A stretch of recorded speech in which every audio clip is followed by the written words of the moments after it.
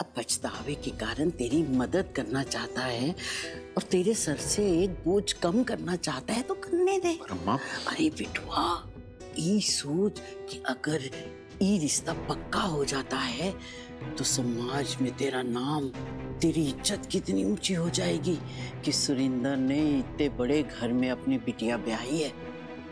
हम्म? तो चल।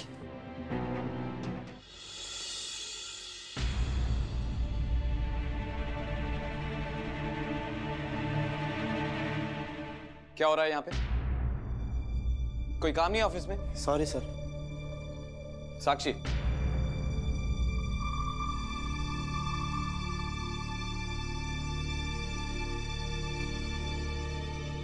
साक्षी ये क्या है? What? I mean, अगर तुम्हें पता था कि तुम ऑफ़िस आ रही हो तो कोई सिंपल ड्रेस भी पहन सकती थी। Like really? पहले तुम मेरा बिहेवियर कंट्रोल करते थे और अब तुम मेरा ड्रेस कोड भी डिसाइड करोगे। नो वे साक्षी मेरे कहने का वो मतलब नहीं था। मैं जानता हूँ कि हर इंसान को आज़ादी होनी चाहिए कि उसे क्या पहनना है और क्या नहीं। लेकिन जब हम किसी जगह पे जाते हैं किसी माहौल में जाते हैं तो आपको पता होना चाहिए कि कैसी ड्रेसेस पहननी है जिससे ना तो आप ऑकवर्ड हो और ना ही दूसरे। But you know what Akshay?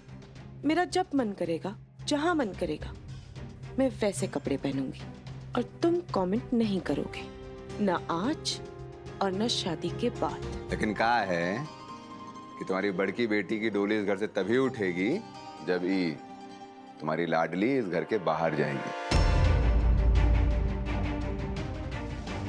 समझी?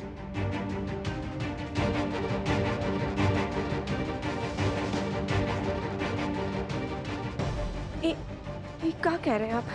मतलब एकदम से अचानक से ऐसे ए, अचानक बचानक कुछ नहीं है हाँ? कैसे कि पहला रिश्ता एक ही चक्कर में टूटा था। इस बार कोनो गलती नहीं करेंगे हम? इसीलिए तय किए हैं कि जब तक इसके कदम इस घर के बाहर नहीं फूटेंगे ना इस घर में बारात नहीं आएगी।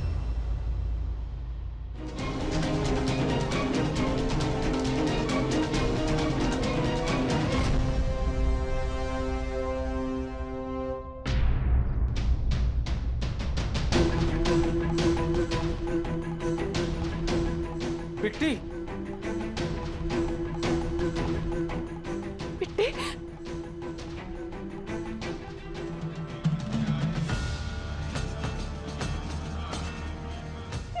बिट्टी